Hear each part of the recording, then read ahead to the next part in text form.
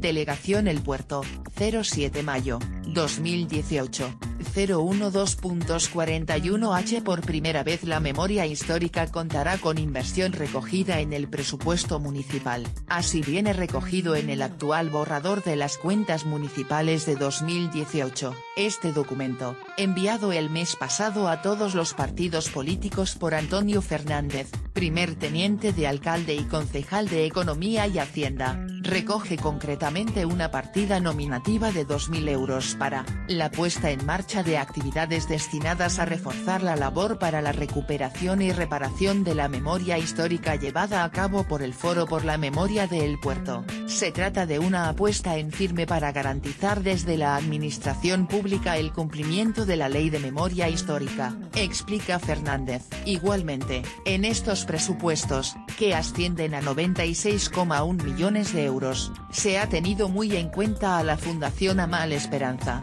esta asociación, que este año celebra su 25 aniversario, ha sido la beneficiaria de la línea de cooperación internacional que se recoge en el borrador. En concreto, esta otra partida alcanza la cantidad de 20.000 euros, un dinero que, según explican desde la propia organización será destinado a la puesta en marcha de un nuevo proyecto de cooperación en el campamento de refugiados de Dakhla, Sáhara Occidental. Se tratará de la construcción de la segunda fase del edificio comunitario de Birnzaran, prevista para el próximo año. Por su parte Jesús Espinar, presidente de la asociación, ha trasladado a Antonio Fernández el apoyo de Amal Esperanza a las cuentas municipales. Dicho acuerdo ha quedado sellado en la firma de un documento por ambas partes.